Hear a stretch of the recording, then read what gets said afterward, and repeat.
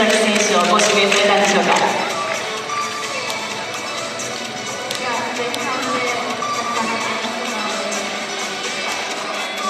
はいありがとうございました。それでは篠崎選手にお話を伺っていきたいと思います。ご指名です。よろしくお願いいたします。ではまず今日の試合を振り返ってみていかがでしたでしょうか？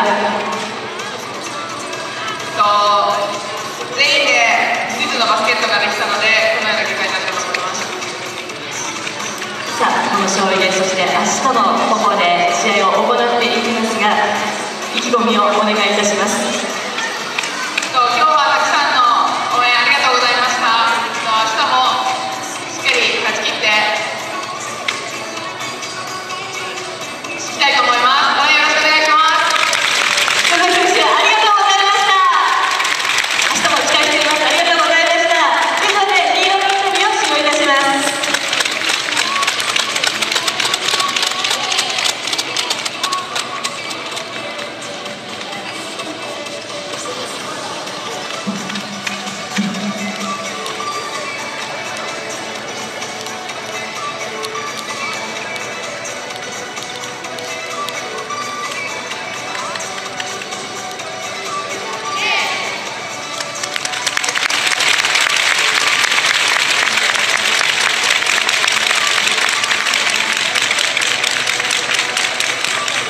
WJPL 第19回 W リーグ小川原実ホームゲーム実レッドベェイ VS 新潟アズレックス DB ラビット戦にご来場くださり誠に